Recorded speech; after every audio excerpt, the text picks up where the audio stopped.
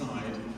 Today I wanted to show you some of the fascinating visual material that is the charts, the history of the cathedral. It all looks very calm today. You think we're walking into a, a totally well preserved early 13th century building um, here in the mid 13th century, but it's gone through a lot of vicissitudes and um, it's fascinating, even what you think of as very recent material. The photo here is only about 40 years old. Already the, the whole of Patrick Street at the bottom is gone, and as you will see at the moment, major developments on Kevin Street. It's an interesting viewpoint because it shows you the small area, 100 or so acres, that constituted one of the city liberties, the Dean's Liberty, and right up to the Iveagh Buildings and what's now the park just outside down to Kevin Street. That was his, his little um, sort of city that he controlled um, and uh, uh, had its own particular rights um, until it was all abolished about 1840. And going right back to 1610, there's a long history before that, but just nothing visual, and probably one of the most reproduced maps of the city, the John Speed one. But although people tend to look at the streets and the centre, um, St Patrick's gets a little overlooked, um, and if one comes down to the bottom of the image, um, there we have, you see the arrow there is the cathedral, but also a reminder that the city walls didn't just stop up at Christchurch Place. Uh, there were outer walls, and even between them, just below the cathedral, the Chancellor's house, he looked after the choristers of the cathedral. Um, now where Kevin Street runs and um, part of the sort of the grounds that constitute the outer buildings of the cathedral on the, on the south side. This is probably the earliest view of the building. Thomas Dingley um, has unfortunately put everything really in the same plane. And so buildings, the small ones at the bottom there, houses, which are probably around the corner, all seem to be actually attached to the front of St Patrick's that we're looking at. He made a journey to Ireland in 1678 and he illustrated his journal with little vignettes like this. It's now in the Royal Irish Academy. And um, from point of view of the city itself, the, the little sort of proto-Dutch Billy house on the right-hand side, which you really find starting about 10 years later in the, the Coombe area, um, already appearing with sort of curved eave in the gallery's own collection, not rather fascinating drawing that um, I only realised what I was looking at um, when I was examining it to find out more about Donnybrook. It's by Francis Place, it's drawn in 1698, and it's actually titled um, as uh, Dublin from Donnybrook Bridge. There was no bridge at Donnybrook. What we're actually looking at is Balls Bridge, which is just a little further down the Dodder. Um, and in between the foreground and the cityscape right in the distance. There's all this open land. This is land that belonged to the Fitzwilliam family, later developed in Georgian and Victorian Dublin, but at this time completely unused. The drawing itself is exceptionally narrow um, and long. This is a, gives you an idea of the, the size. So you do really need details. And on the left there, there's this enormous church, which has to be St Patrick's Cathedral. It does seem that the Minot Tower West End is somehow coming to the centre of the crossing, but bear in mind this is a tiny little detail place of recording. He's very punctilious in what he puts down in his notations. Um, what gives it a, a, a sense of authenticity is the fact that on the right-hand side you can clearly see the tower of Christchurch Cathedral and the rather curious steeple of the old Merchants Exchange, or the Tolsel, which used to be opposite where the, the Hotel now stands. We also have on the right-hand side the castle that was on Bagot Street um, at the junction um, with Waterloo Road today. And coming in even closer, the old St Kevin's Church, just south of us, um, is rebuilt in the 18th century. There's no trace of the medieval building, and this, um, again, is a very rare record of that. The cathedral authorities decided um, in 1733 that they really needed a proper survey of the buildings, and so they brought in Jonas Blamire, um, and uh, I, I, rather like the sort of historic titles here. The, the the south prospect of the Cathedral of St Patrick's, Dublin. He made original ink and wash drawings, then they were engraved as a set. Um, and we obviously here from the, the south side towards the transept. Now you can see the Minot's Tower in the correct position. He was a surveyor and measurer, probably came from Yorkshire um, and died in Kilkenny. Uh, in this particular image, um, the perspective is, looks a little strange, only really because it's a pull-out. You can see the folds, the vertical folds on the sheet um, from the book that came with his um, engravings, um, and obviously can't be got quite flat to photograph it, but um, it does have um, all sorts of interesting information on it. Where we're positioned at the moment in Lady Chapel on the right, this was untouched 1260s building at the time. Um, and you can see just how high the land around had risen because the, the windows, you can see they actually the ground level. Um, uh, it, it, they are the same windows, but it was a little later that that was um, excavated back. St Patrick's was always in a hollow. Um, it always had problems with flooding. The, the River Poddle, which um, comes off the Liffey, supplies the moat to the castle when there was one comes down the side of Patrick Street where it's diverting into the Coombe. Um, that frequently flooded um, and uh, it brought extra debris around the cathedral itself. We've also got, you see, a, clock on the south um, transept, only one hand, as was quite common still at this date. Guillaume Delalande, a French engraver, um, probably never came to Ireland, um, he is based in Paris. He's known for cartography, and he did actually do engravings of Canice's Kilkenny the same year as this 1739 engraving, which was commissioned for a book, like many of these um, images, the whole works of Sir James Ware concerning Ireland, which uh, happen to include a few views in it.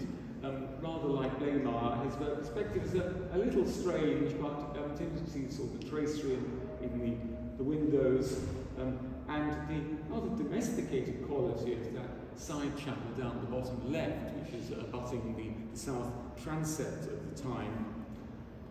We also have the introduction of a fireplace to keep warm in winter. Um, it not becomes clearer in a moment, but you can see it there just on the left-hand side.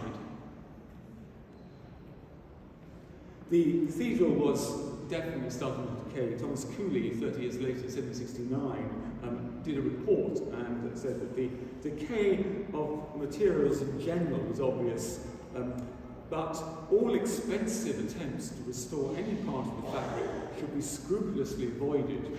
Um, uh, I think as a classicist, he really thought this was a bit arcane and should be swept away and something nice and new put in its place. Um, he did undertake some practical measures, um, as he said, rescuing the walls from being water soaked, I said there was flooding, and even using straps to stop the south transept windows from coming outwards from the building itself. The first um, fan that gives you an idea of the circumference of the cathedral air in its liberty um, was commissioned from Roger Kendrick, it's now in Marsh's library, um, and here you can see what we had on the initial aerial photograph, sort of the encompassment and some of the divisions. A lot of clergy lived in the Liberty, but there are also many tradespeople. Um, it's strongly Protestant to this day, by the 19th century, um, heavily Catholic and quite a poor population. Um, but it, it, it was a little world that belonged to the dean. It also underlines the fact that the access from the deanery um, in the mid-bottom there um, to the cathedral was quite awkward. There was a little alley still there, um, but in fact the close that you now come off Kevin Street and through Patrick Street, that wasn't there, um, and so it was really a, a building that was hemmed in on all sides. Better idea on the famous Dublin map by John Rocque, um, where he puts these pictograms can see um, the houses, these are the gardens marked, um, and uh, just saying it's uh, um, the way that the cathedral and the deanery ran really right into Marsh's library on the right-hand side and the Archbishop's Palace of St Sepulchre. And I moved to the 19th century just because the great panorama of Dublin that John Smith produced and was given free with the Illustrated London News um, gives you a, a, real sense of the, buildings in the city. Now, he takes certain licenses because I mean this is a, a really tiny detail. The, the, panorama is a couple of meters wide. It's a very large woodcut. Um, but again, it gives you um, an impression of that there's a deanery there at the bottom um, and just across obviously the cathedral, and you see on the right hand side the Archbishop's Palace, Marsh's Library. So um, all nicely enclosed behind gates, very much its own little world. Um, at this gate still, the main thoroughfare across is actually on the other side, what's known as the Patrick's North Close. Um, and in fact, this becomes quite a busy little highway between Patrick and Bride Street on the other side. Um, here you get a, a, better idea of this woodcut. It's still a detail, but it does um, underlie the relationship of St Patrick's to Christ Church up here in the old city.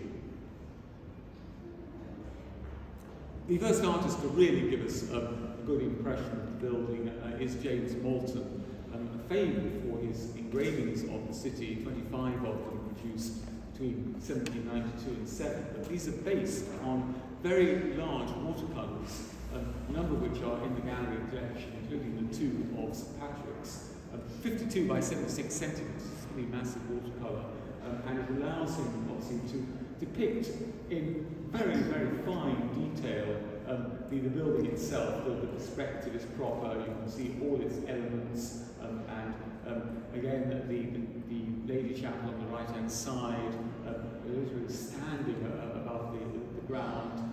Um, he, I have to say, he exaggerates a bit. I mean, it does make the, the churchyard look um, rather larger, I think it probably was. You get a sense that there's an enormous area on the south side. Um, but um, again, little, details that you just wouldn't expect to see. The, the wall that's suddenly there between the, the transept and, uh, and, and buildings to the south. Um, here, much clearer, that chimney uh, abutting the, the south transept. When you get the engravings, uh, they came actually uncoloured, but around 1820 they started to be uh, produced with watercolour finish just to make them see more attractive. But um, you not only lose the scale, mean, there's a lot of detail still there, of course you, you don't have the subtlety of the original artistry. He had been, we believe, in James Gandon's um, uh, studio as an apprentice architect.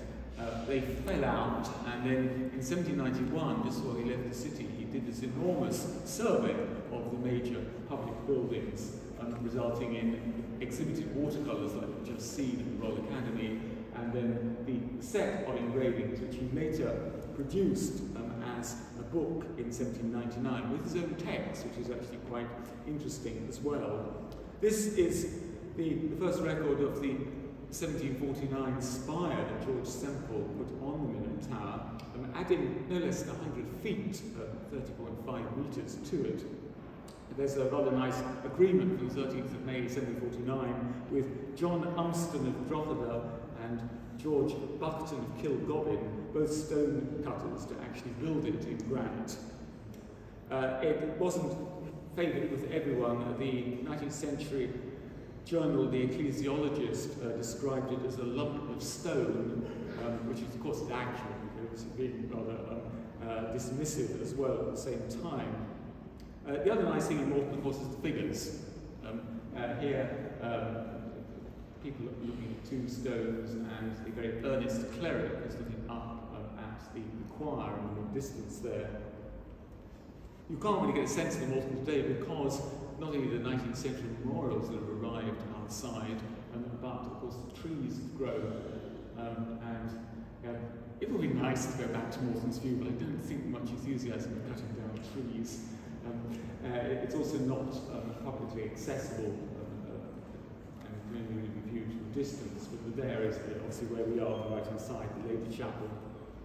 I just wanted to come in to show the, the detail there. Um, around the city you see tradespeople, uh, people um, enjoying themselves, carriages and all sorts of other detail of Georgian Dublin in the 1790s. It has been noted it is always sunny in views. Uh, here, of course, is what the exterior where we are now looks like today, um, following the, um, the great makeover which will be coming to the uh, Benjamin Lee Guinness's um, remaking of the cathedral 1861 to 65, um, when so much was shored up, um, parts were replaced, um, and the outside was enhanced. Uh, what reason for showing it here is just to make the point of how we're now back to the proper ground level and you can see how high the sills of the windows are from the grass.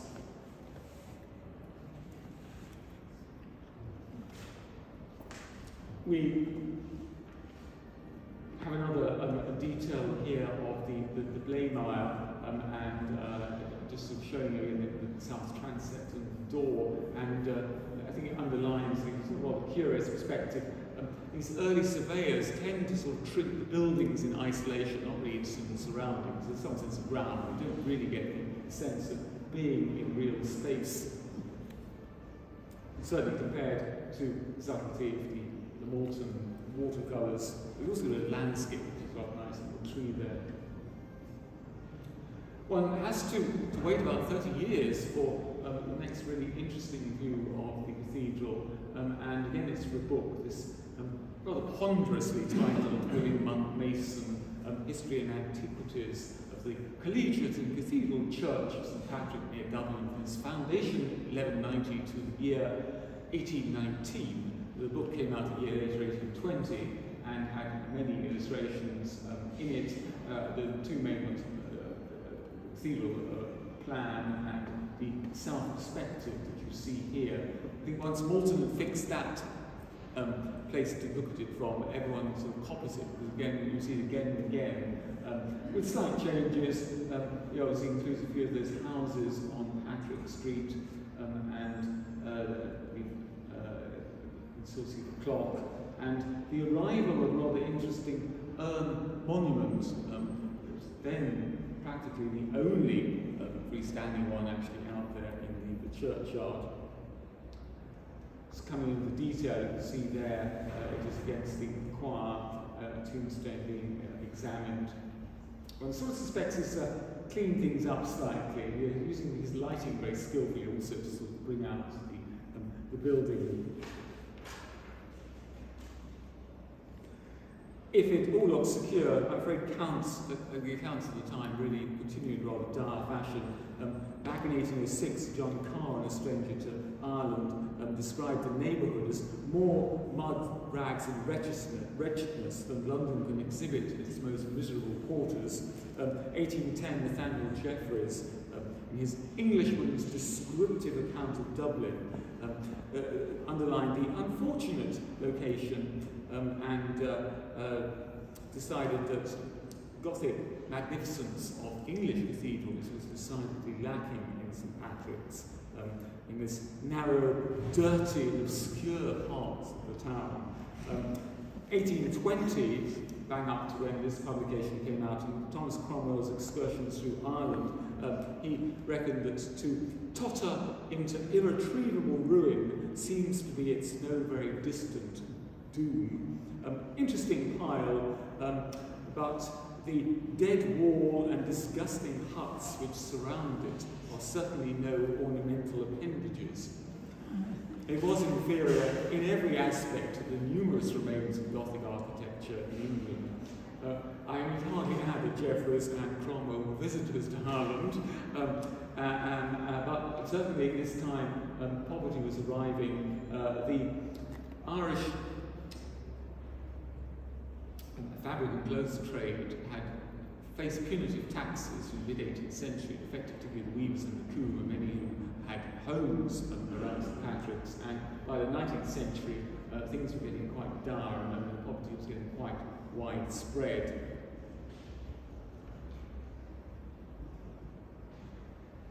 Just uh, coming in on that, that monument, because uh, um, it does become rather a feature of the views of the time this is not easy to see. Um, George Petrie um, was already becoming established as an um, antiquary, and he was called on um, to provide illustrations for um, one of the, the new crop of guidebooks that were starting to appear around 1820. His original drawings from the Royal Irish Academy, and although they have a certain little ghostly quality, actually there's quite a lot of detail to them. This is the publication that he was working on at the time. This, uh, George Wright's historical guide to the city of Dublin, which is a mine of information. This has um, come out in a reprint and um, it's full of social information and um, real uh, insight into how the city worked um, at the time, and of course how visitors saw the particular buildings. This is the actual engraving that resulted from that ink wash drawing. Uh, uh Thomas Hyam um, was brought in and it's almost about the same size as the drawing, but quite small, um, and you can see the book plate here. The thing, of course, with engravings that they, they have to be much more specific, they can't be quite so vague, um, and so you do get a lot more detail filled in and visually a bit more satisfying. Even down uh, the, the touch of the smoke of the chimneys of the houses in the distance. There was a lot of piracy going on um, at the time. William Topham clearly um, just stole that image and reworked it for another famous guidebook, um, um uh, oh, sorry, the, the Halls of Ireland, its scenery, character, etc., um, which uh, came out in 1841 to 43. Um, and yet again, there is that same monument, so it seems to become a fixture of views at this particular period. A role like this from James Lee, it's for, for James Barrow's tour around Ireland of 1836. Um, and although, uh, from an artistic point of view, he's quite a modest talent, um, and perhaps doesn't tell us anything particularly new um, about the, the building, um, he has an eye for characterization. You see this, this very elegant couple there, clearly on the way to morning service, and there, the sexton with his pick in the background, and uh, couple of other figures possibly helping, waiting to help him with preparing a new tomb. One of the most curious images um, is by John Cook. Uh, to coincide with the royal visit of George IV in 1821, he produced what we call Cook's Royal Map of Dublin, um, and around it there are 24 little vignettes of public buildings. I think rather significantly, the only church is St Patrick's, and not because it's a great Gothic cathedral, because it's so venerable, it's so much part of the whole history and fabric. And it's really highlighting the more modern buildings, and you can see here the James Gandon's Custom House. Um, but why he should decide to literally crop the Malton view and just show the south transept and the choir is rather um, uh, unexplained. I mean, it does give a rather odd look um, to the building itself, but we've still got the Minute the far in distance. Um, here you see map in all its glory. It's an early example of colour lithography, um, and he shows the sort of uh, slightly outer areas of the city in this, this, blue. And as you can see, it's a very splendid uh, uh, grouping of um, uh, uh, uh, buildings around We've been looking at the south side, so I'm, I'm literally moving around to the north now, and we're sort of going back um, to, John Blamire with his survey and the engravings. Um, and um, really, um, because this uh, shows you something which uh, doesn't return for quite some time, which is actually an intact north transept. It's all roofed and the whole building is actually standing. Um, it's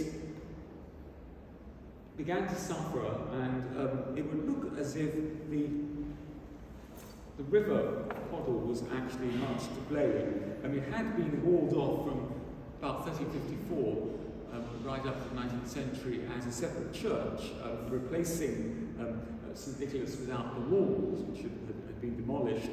Um, but um, there's a series of events. 1784, incessant rain and even snow caused um, not just the, the Poddle, but the, the Liffey and the Dodder to burst their banks as water uh, flooded down from the castle yard north of us, um, six feet in the cathedral, according to Orcus magazine. Um, it made a ruin of the north transept, um, took some time to, to recover from. 1794, there was another flood, and again the Liffey burst its banks. They actually had to use boats to get down Patrick Street.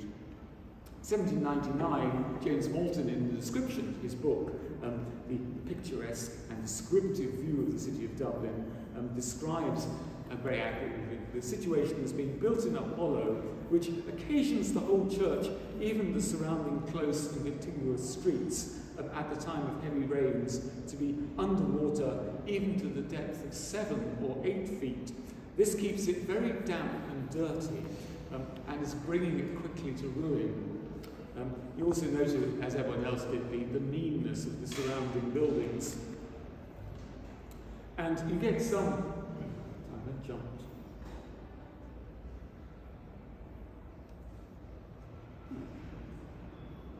Sorry, you get some sense of that um, in another James Malton watercolour. I think you can see why he didn't choose to engrave this for this great series. Uh, it does not show the, the uh, Cathedral of Well, apart from the, the ruinous state now see of the North Transept. Uh, by this stage, there were houses literally built against the east end over there. Um, and you can see another of these Billy type houses with sort of Georgianized windows. Um, we've even got the the carter here delivering something. Um, we've got a lot of nice detail actually the lamplighter down there in the middle uh, at the bottom. Um, and what I was saying about the um, the Patrick's North Close being a sort of thoroughfare, getting a real sense that there's a lot of activity there on the north side um, of the cathedral. Uh, the washing, of course, hanging out of the window as well. It's a delightfully picturesque. It's now in the Victoria and Albert Museum and collection. Of course, there were people who thought that things should be improved, and uh, this introduces us here to Richard Carpenter, British architect who made um, various um, visits um, to Dublin in the 1840s, and he exhibited large ink and wash drawings at the Royal Hibernian Academy showing what he thought should be done um, with the cathedral. Um, here we have a new, uh, looks the hexagonal chapter house that he envisaged, um, which uh, would have been modelled probably on Salisbury um, Cathedral, rather like the Lady Chapel or Inn, which uh, uh, again he took some inspiration from and it was um, restored. Uh, and there's a whole assemblage of additional chapels and probably uh, ancillary buildings for the, the vestry, which you see being attached here to the, the north side of the building. In the popular eye, though, this was how they were now seeing the cathedral, this heavily romanticised image, um, which was made by William Henry Bartlett, is a, a, British travel illustrator. Um, he was in um, Ireland, in France, even in America, um, and uh, his work is very accomplished, uh, but he does like a certain mood often, and you get very much the sense of that here as we, we look from the east end of the cathedral um, uh, to all the activities um, going on. This is a, one of many illustrations that he did for Hall's Ireland. Um, and of course, they weren't just in book form by stage, they're actually produced um, individually.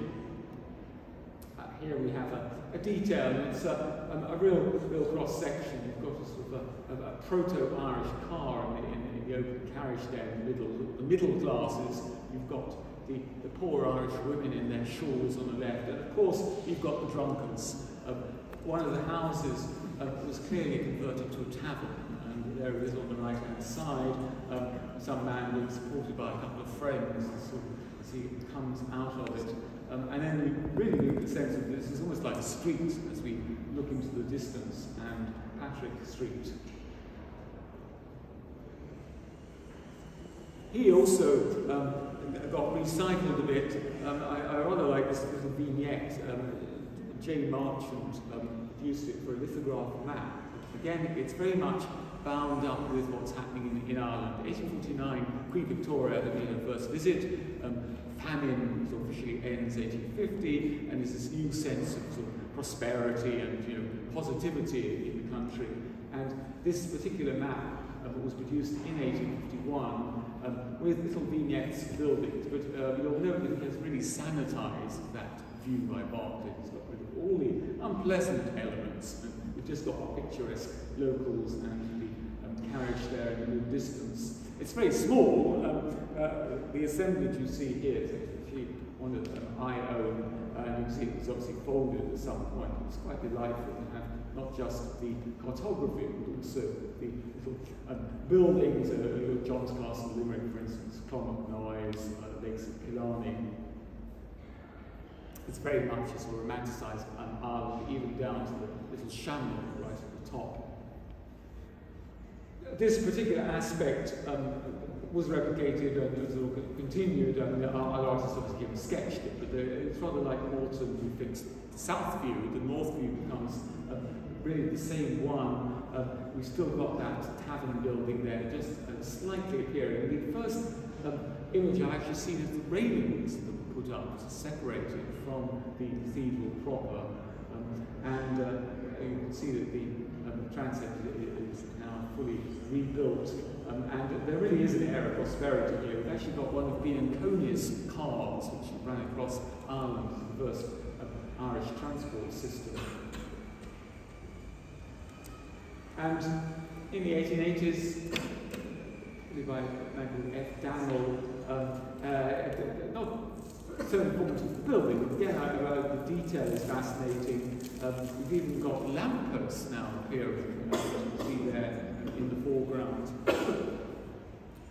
And then, once the Guinnesses have paid to sweep away all the slums that they become inflicted on the side, right up to the uh, Iveagh Buildings, which they were to fund, um, the creation of the St Patrick's Park. Um, this is one of these superb photographs that Robert French um, produced. Uh, he joined the photographic studio of William Mervyn Lawrence um, and spent 40 years there, but based at 7 Upper Sackville today, O'Connell Street. They're their chief photographer, um, and their, um, most uh, the, the images of survivor Vikings, some 40,000 glass plates now in the National Library. Um, not just a, a great sort of perspectives that he often records, but the, the actual crispness and focus that he achieves. It's over a large distance here. Um, this particular house on the left-hand side has long been there, they've not built, as you can see, and we now have a, an actual balustrade separating the, um, the north close, which has, has dwindled really to a path. Um, uh, you no longer get the sense that it's actually a street as it was, um, crossing over from Patrick Street in the distance to the Bride Street where we're standing. I'm not exactly sure where we're standing. We might have to go right up into a rooftop to actually get this view. It's, it's a wonderful visual record of the time. This is a little earlier, but um, it's uh, you know, how the artist rather more conceived things. Um, it's another of these maps with vignettes. Edward Heffernan in 1868 decided to use Dublin and suburbs has the cathedral. Uh, we've got a, a carter here in, in, the foreground with his hay, a, a nice and civic um, detail. And here is the map itself.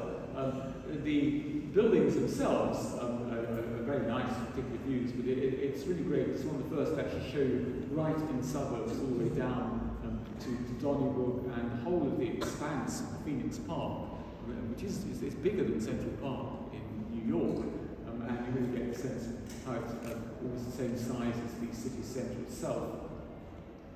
This is a bit yellow, but it's of varnish on at some point, and this is rather yellow with time. We do have the gallery um, this rather lovely painting by Walter Osborne. This was very much drawn to the picturesque side of the, the Dublin slums, um, and he went out with not just his sketchbook, but actually the photographs um, uh, here we are looking um, down um, Patrick Street. It has these rather uh, delightful little titles. Uh, Near St Patrick's Close, an old Dublin street. Um, and um, uh, as you can see, there was then a very lively market of the, the um, fish and vegetables on sale here.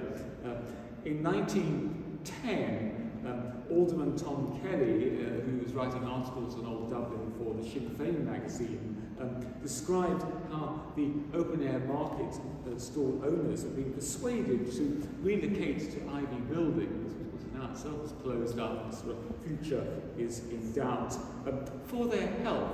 Um, not, as he said, that it seems to have affected the previous generations. It's obviously, it was a real instance of corporation um, cleaning up city to make it uh, uh, sort of, uh, less, less than sense picturesque, but also uh, uh, taking you the, the life really out of it. I mean, they've actually, you know, it's got interesting buildings, but the, um, the whole liveliness obviously has long gone. Um, of the cathedral itself, um, we're looking obviously at the Minot Tower, um, and uh, it's all rather lost in a sort of a, a, sort of a foggy vaporousness. Captured the, the grey Dublin skies. Now, i am reverting in date um, because uh, I mentioned the Guinnesses, and um, this is really to show you the incredible transformation that happened just outside, let alone inside the building. Uh, we have here a very rare view of the Archbishop's Palace. Um, it had been uh, built way back in the 13th century, but it kept getting altered. Uh, it's basically three sides of a courtyard, and when Marsh's Library was built, uh, the first phase around 1703 and then 1708-09, second wing, um, it literally abutted it. At this date, there was actually still a tower between them, um, which was a telescope used for astronomy, but I've yet to find any image of that. In 1805, the palace had been sold to the state by the then Archbishop, and it was actually used as a barracks by 18, uh, uh, that year. Um, the police had arrived in 1830s, and of course, as you know, the, the were here uh, until very recently. They built their um, spanking new premises on the corner of Bride Street. Um, I uh, learned only a week ago that the Office of Public Works, that does belong to the state, um, have now moved in and they are planning to restore the palace to give you some sense of what it was like in the past. Um, there are quite a lot of bits of features left, the old doorway um, uh, and uh, obviously the walls themselves. Um, it's not big enough to make it a great civic museum, but obviously when it's done, I'm very, it's going to be a few years, um, it will be obviously a great part of the whole St Patrick's Cathedral complex to have that um, you know, uh, as part of it. Now back to the review, um, at this point there was a very solid wall between him and the Dean because there was a sort of antipathy between the, um, the two um, uh, and uh, you really do see uh, how closely grouped all the other buildings in the, um, the South Close are around the, the deanery. Also captures a bit of the street activity the figures going by. Um, here we see post Guinness um, when they drove this um, new road through. Um, and uh, it was a, a, very good decision because it does actually open up the whole cathedral. Um, the, uh, the deanery is nicely protected by battlemented walls. Um, you get no idea what's going on behind them. Uh, this is an undated etching, uh, probably 1870s or 1880s. And uh, here you see um, on, a, on, a, map of the period um, that, uh, as uh, the Dean himself pointed out to me before I noticed it, the um, Guinnesses thought it would be rather nice if half that street was known as Guinness Street, but the name did not hold. Um, uh, you can see this of the layout here at the bottom, um, and there's a rather interesting canon, Ralph Sadler, who um, did some photographs that the only one um, uh, actually seen. He must have done more, but it actually shows you the, um, the actual practicalities of if you're reconstructing a transept, the south one. I guess you go board it all out, put up your scaffolding or whatever.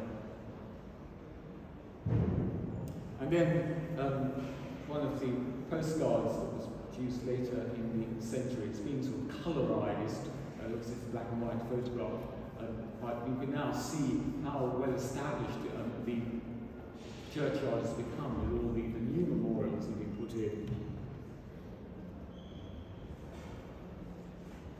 I filled a whole page with all the improvements that the Guinnesses brought and what they repaired. Um, uh, the thing was that they, of course, put so much money in that they decided uh, that Benny Guinness would run things. It wasn't, that was his agreement. He, was in charge and he, um, he would do whatever he felt was right. So he used um, stone contractors, the Murphy family, particularly Patrick Murphy, um, who probably did this design for the, the door which you um, came in um, today at the West End. Um, but uh, a lot was really his vision.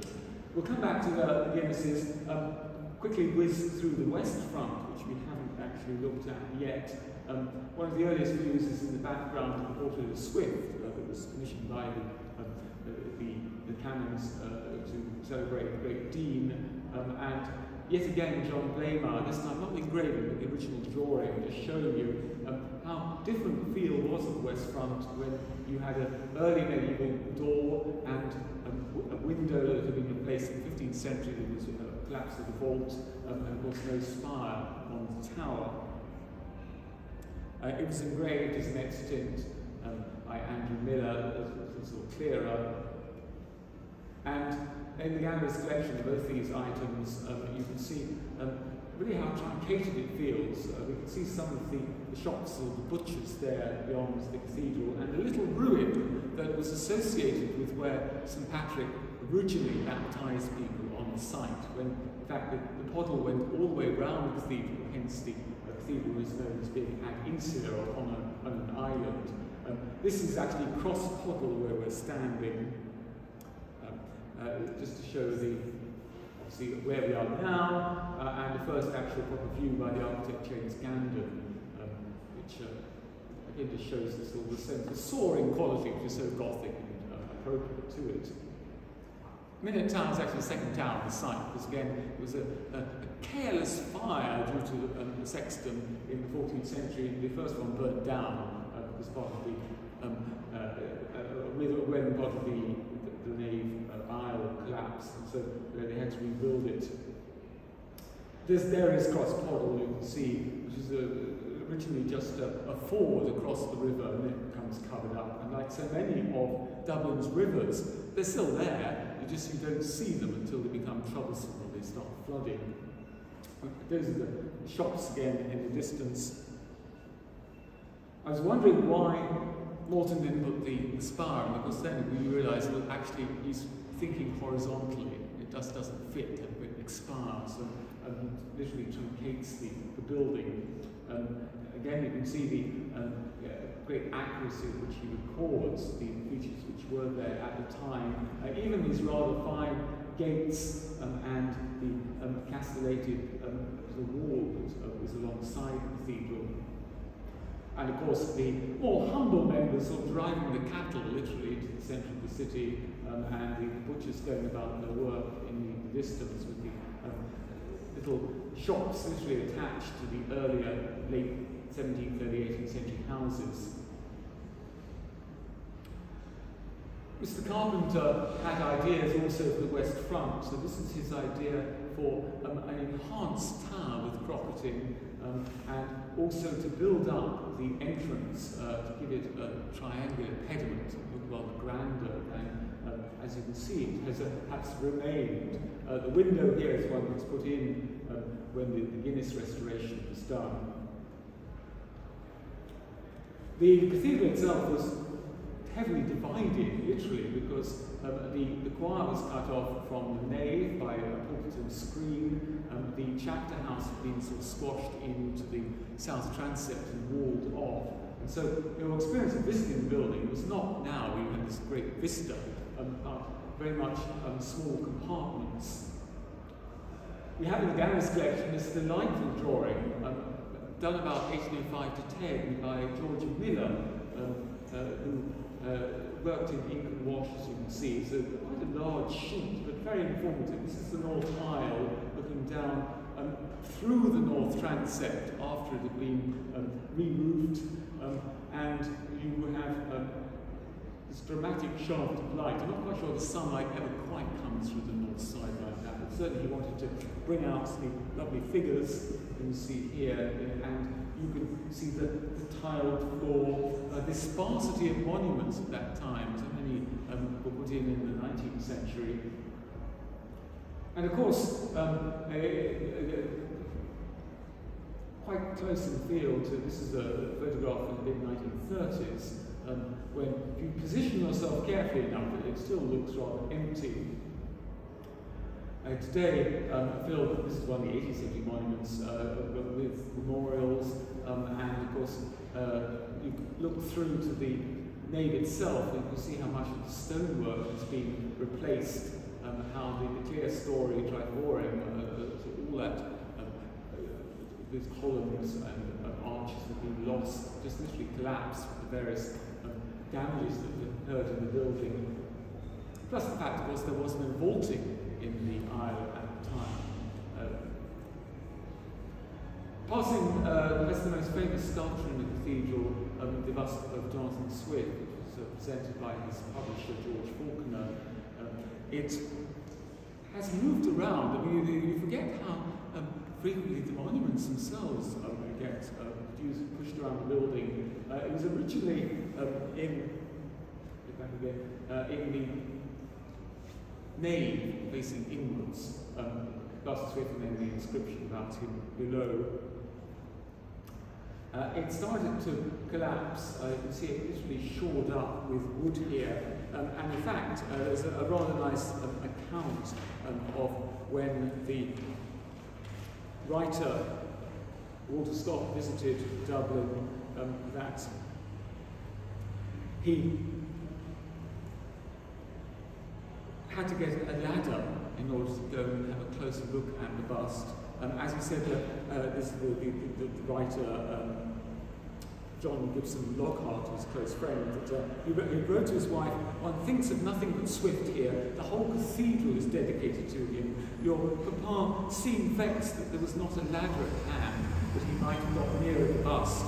Um, he thought it was by Roubiliac, French sculptor, in fact, um, uh, you know, it's by, by Patrick Cunningham. Then they recited it um, on the same wall where it now is, but quite high, you've got the inscription stair along the sides, uh, there's Victorian ladies and gentlemen visiting. And so now, as you see, it's moved down the wall. Um, uh, even what we think of as fixed entities are quite mobile. We were looking at the nave, and this is the only view we actually have from the um, early 19th century really shows the full extent of it. Obviously, the, the losses we were seeing in the stonework, but also the fact that it had um, lost its vault way back in the 16th century, now had this wooden rafters across. But we're going to be um, looking particularly at, well, and now today, of course, you can see all nicely placed.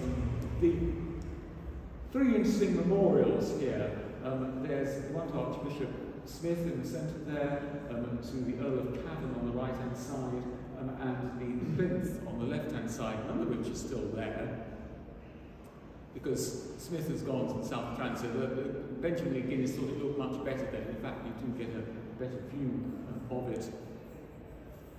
Earl of Cavan has gone to the west end and stuck quite high on the wall. It's a very fine armorial um, assemblage, even down to the very realistically here drum. And that plinth has been become very useful because the statue that's uh, said to be St. Patrick, certainly someone uh, who's a bishop, uh, probably from the 14th century, has now got it's over there in the south transept. And here is the full effect of the Guinness restoration. I mean, you really, I say, you feel you are in a, a building that survived intact. It's gone through a lot of um, troubles, uh, uh, very fine Victorian tiles.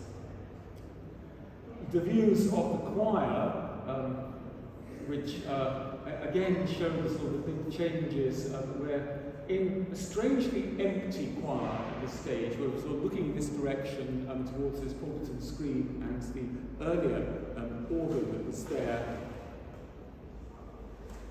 Rather more informative um, unknown artist from around 1820 um, who is very accurate, um, showing particularly these two galleries that were put up. Uh, the reason was the Knight of St. Patrick's um, flags, um, seen briefly, which are uh, now positioned in the choir again. Um, their ceremony of installation took place here, um, five of them, 1783 1821, and they needed extra seats. Uh, at one point in 1821, there were 729 people present, so a, a lot of people.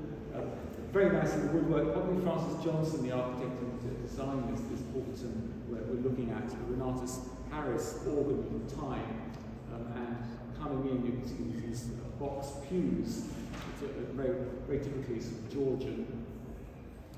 The Dublin Penny Journal gives you more sense of the um, human activity. We've got a service in progress here, so a tiny little um, engraving. For more accuracy, we turn again to the guidebooks. This is uh, the picturesque views of the antiquities of Ireland, um, where you can see the, the, very early pulpit, the one that um, Swift is said to have preached from, which is now um, migrated to the nave. And of course, another monument that uh, found legs. Um, uh, the, the, Earl of Cork used to be behind the altar till he was ejected in the 17th century, um, but um, the, the one that we see um, here um, of Archbishop Thomas Jones um, stayed for a while, it's now moved probably by Edward Tingham, the early 17th century Dublin sculptor. I think it was all part of this being nearer to God than he were to the East End, why they liked to have their big tombs, because people also saw uh, more in public. One of the most informative views, though, um, frustratingly anonymous artist about 1840s, a very, very large watercolour, with some idea of it in its big uh, Victorian frame on the right hand side, um, and you can see the detail that's being included, um, which uh, is fascinating to see now. Um, in some senses, things don't look much different now. This is actually a, a 1784 plaster vault we're looking at. It wasn't until 1901 it was replaced. It's actually concrete today, um, vault up in the choir. It's coming in and and where we are now, um, in the Lady Chapel, before it was revamped um, by uh, Mr. Richard Carpenter, who we've met already, um, very different. It had lost its vaulting, flat, flat plaster roof. Uh, the uh, usage was slightly different. Um, coming to the detail there, you see it was actually being used for meetings. Uh, for uh, several centuries, the Huguenots had used it as their chapel.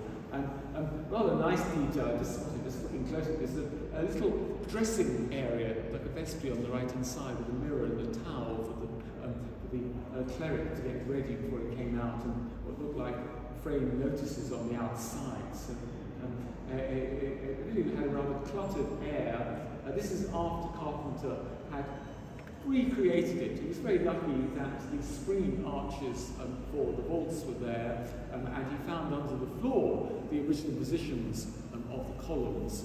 Um, he hadn't got the money, and we were talking when he did this in the uh, mid-1840s, was of famine time, um, to do a stone vault. It is plaster, but um, he did a wonderful recreation job. For some reason, Guinness wanted to get rid of this whole section and rebuild it, but uh, perhaps they didn't have time, so it never happened certainly a, a lovely um, building. Um, only uh, about five years ago it was given a major overhaul and tidied up, and now um, looks very pristine again.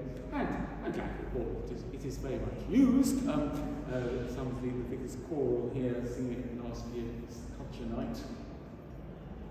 Now, after all, in a sacred building. Carpenter was a keen follower of the ecclesiologists ecclesiology movement started in Cambridge 1834. The ecclesiologist, where that um, lithograph was published, was their magazine, um, and they were promoting not just the study of Gothic architecture, but its reuse in church building. The idea that not just to bring back proper medieval architecture, but the whole spirit to actually improve people. One of things you find often architects feeling that the right architecture will produce the right um, sensibility um, in the, the, people visiting the buildings. So his idea the choir, um, ways not so far from what was to happen, but um, the, the tiles are less um, elaborate, even the, the choir stalls, um, and you can see that uh, uh, it's all a bit more grandiose uh, in, in the sort of Guinness um, restoration. He did propose a rather nice screen. You see, we have, we have gates now um, in metal. Um, I think this didn't find favour um, because it's too high. The idea was to open up the cathedral finally so you really got the sense of looking right through it.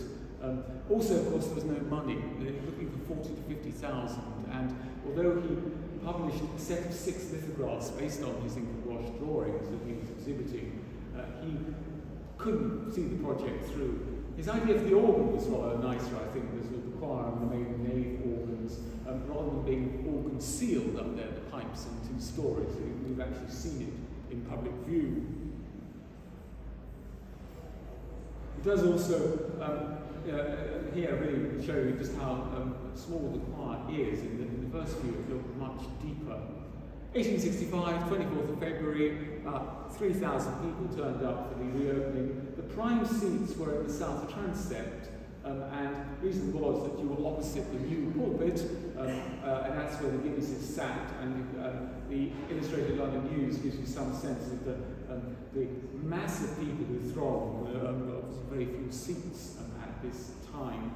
Uh, here, another of the French photographs and this lovely little um, lane, um, which is the link across from the deanery. Uh, uh of course, the, the, the, the, new close existed, but there's always a pain to have to walk around the corner. So the, the dean, um, even now, can cut through. It's still there, that lane, um, behind that green gate on the right-hand side, next to a 1872 school that was put up, the, the modern grammar school on the left-hand side.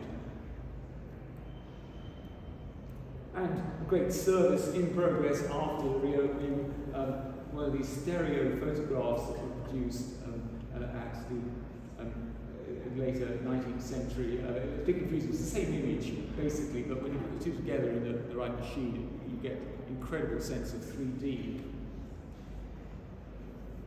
And penultimately, um, got a nice thing at the Victoria and Albert Museum, which is the model in wood by Thomas Drew for the spiral staircase that actually takes you up to the organ loft. Um, it's a lovely little architect's model, and of course you don't get, you can't see this now because it's all embedded in the walls. Um, uh, it was supposedly inspired by the one at Mainz Cathedral, um, so it's a, a lovely little sort of um, treasure. Uh, the Irish Architectural Archive now make a great thing of collecting architects' models which are fascinating to have, uh, but of course in the past they generally got just thrown out.